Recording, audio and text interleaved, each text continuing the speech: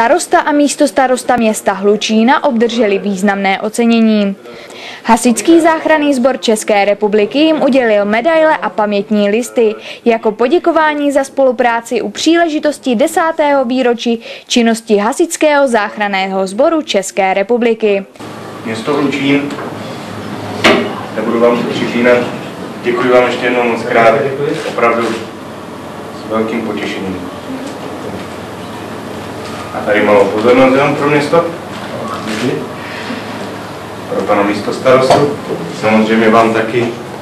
Bez města by to nešlo.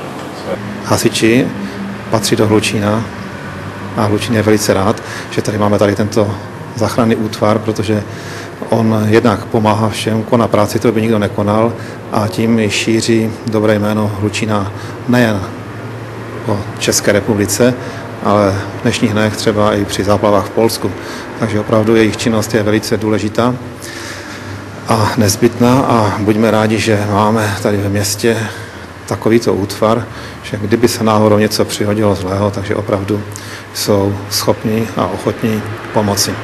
Tento akt byl jasným důkazem skvělé spolupráce mezi městem Hlučínem a Hasičským záchranným sborem České republiky. Z Hlučína Markéta Jeníková. Otec všech našich projektů, takže děkuji moc.